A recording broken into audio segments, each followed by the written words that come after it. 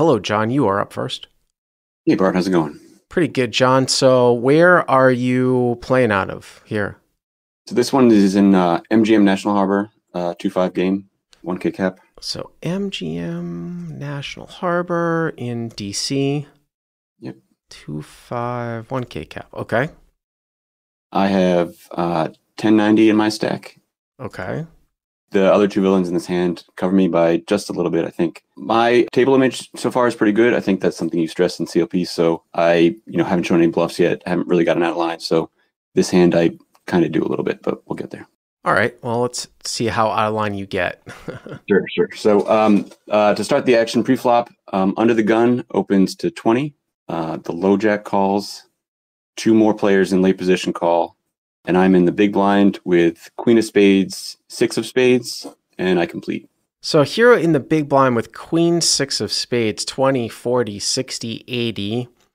You're already in for five. So, 85. So, like 15 for 85. So, you're getting five or six to one suited up and down. Yeah. I mean, I don't have a problem with that. You're obviously, you can't get squeezed. So, you call 15 more. And it looks like we go one, two, three, four, five ways, probably a hundred bucks. This is a drop game, right? Some some percentage up to a maximum, I think. Yeah, it's a five dollar rake, uh, up to five dollar rake. I think like ten percent. Uh, Ten percent up to five. Well, that's a lot better than ten percent up to ten. Yeah, they, they have a jackpot too, which I think takes three off as well. But Right.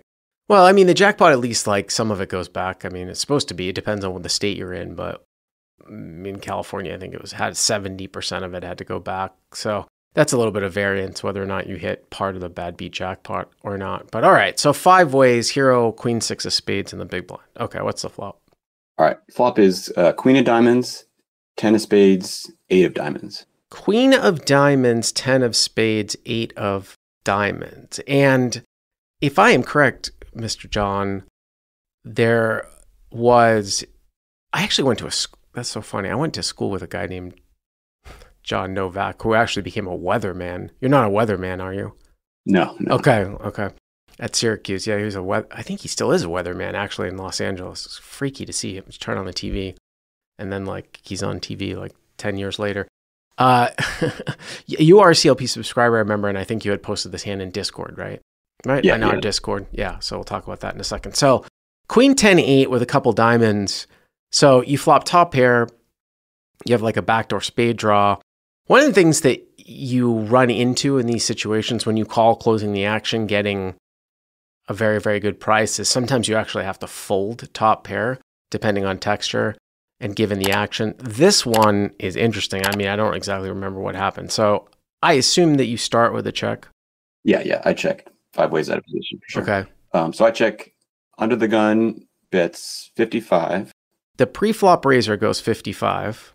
Yeah. Okay.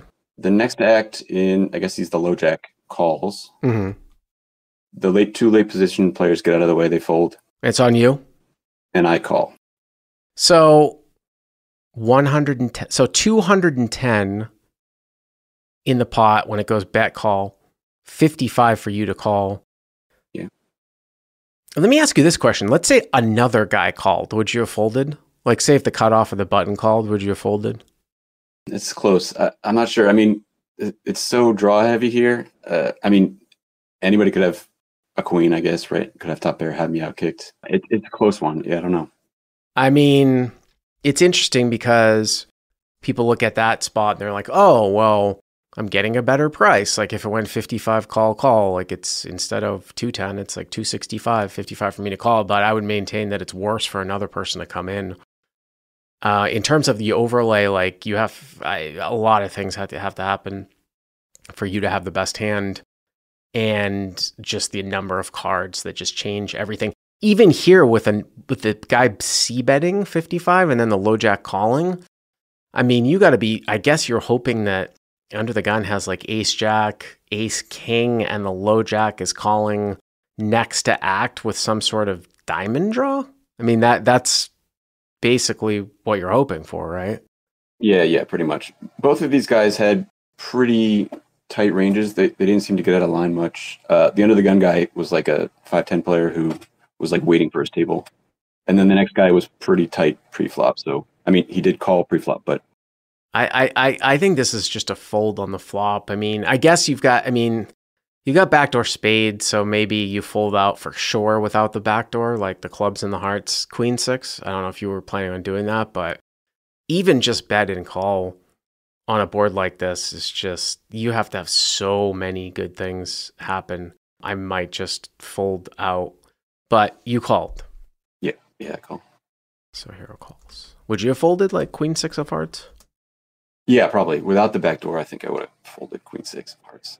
So 265, under the gun 55, low jack calls, hero overcalls with queen six of spades on queen of diamonds, ten of spades, eight of diamonds. Okay, what's the turn? Turn is the three of spades. So you pick up a flush draw. Oh, yeah. Yeah. And people in the live chat chiming in, especially with the low jack calling next to act. That's the other thing too. The low jack is calling next to act. It's a next to act call, which is it's not like it's the button who called on the flop, closing the action. That's why I lean towards fold on the flop. Okay, now you pick up a spade draw. Okay. Yeah. Uh, well, I guess on that, I, I kind of would have expected him if he had a bigger hand to raise maybe on the flop. The the next attack guy. Yeah, but what if he has like queen jack or king queen though? You don't beat that. you know what I mean? Like it's it's like I mean, sure. It's just yeah, the overlays is not good. All right, so three of spades on the turn. So you pick up backdoor spades. Yep. So I check again. Mm-hmm. Now under the gun bets two hundred. Wow. So UTG 200. I mean, before you tell me what the low jack does, I mean, here's the thing like, that should almost always be a hand here, unless it is specifically like some massive, massive draw with diamonds. I don't know. I mean, I guess he could have, and well, the other concerning thing, if he had like ace jack of spades or ace king of spades, he's you're getting over, you're getting over flush.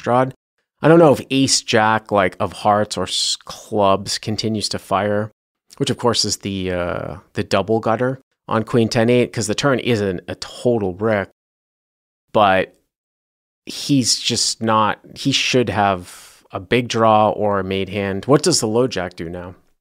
So the low jack calls. so low jack calls. So now the pot is 400 665 665 200 for you to call, right? 200, yeah, 665, 200 for you to call. I mean, you do have top pair and the flush draw, so king high flush draws would have to be like king jack of spades, ace king, or ace jack of spades, and that would probably be only represented. Oh, I guess it could be represented by by either player. I mean, I think you have odds to call for sure um, if you got here like this. Yeah, I was kind of thinking the low jack might be draw heavy too, right? If he's just calling, he's not raising off a made hand, right? I don't know. I mean, he could still have king, queen, king, queen, or, or queen, jack. I mean, I just think that you're just calling here, in essence, with a backdoor spade draw with once in a great while. If a six comes, or if a queen comes and you're somehow good, or just once in a great while if everything bricks out and like everybody missed, you know, something like that. Now, some people in the live chat saying, rip it. I mean, four, 665, here, 865. I mean, the guy has like only about 700 left in his stack. I, I don't see what is possibly what he is going to get to fold here as played. It just I just don't buy it. Like like like are you ever just slow playing like top two or a set or jack nine on the flop on this wet of a board?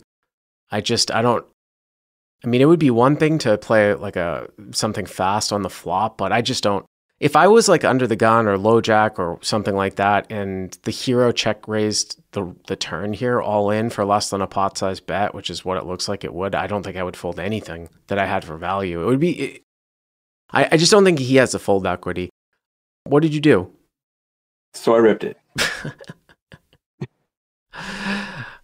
So hero check raise. 10, 10 15 total.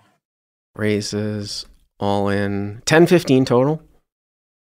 So again it's two four, so it's 465 665 so 1680 1680 about 800 for the under the gun to call. So he's getting two to one. What do you think the under the gun's going to fold here So given that he was, you know, sort of a thinking player, I thought, and you know, played five ten games, I, think, you know, he might fold he might put me on almost exactly Jack nine, right, and fold out something that was better than my hand. I didn't think I had the winner at this point, obviously. Well, obviously you're semi bluffing. I mean, I, we know that you're semi bluffing for sure. It's just I don't know.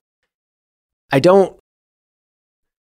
It's it's just not all that believable to me that you would wait here for the for for the turn when literally like two thirds of the deck changes everything. Like if you flop Jack nine, I mean, I guess you could have like Jack nine of diamonds like once in a great while to do this with, but especially when backdoor spades kind of come in. I mean, I guess the other, you know, what's funny is like maybe you would be playing like bottom two safe here and waiting to check jam. Like, say you had 10 8 and you just figured like if you check raise flop, you're just not gonna really get it in really that good. All hands that get it in with you have great equity, and you just wait until the turn to get it in on a brick if that comes. That is almost more concerning to me if I was in the under the gun guy's spot with like say kings or aces that you might just be waiting to go with two pair. He does have the guy on the in the low jack to sort of like worry about, but even if you get if you, even if you get through the under the gun guy, I don't know if it gets through the low jack here either. So I wouldn't have played it this way. It does look somewhat strong, but I think it comes back to how wet the, the flop is and how, how much like check calling you're doing with very strong hands. So what ended up happening? So I faded the snap call. The under the gun guy tanks for probably three or four minutes and ultimately folds. Uh huh. And then low jack takes maybe 20 seconds and also folds. And did you ever find out what anybody had?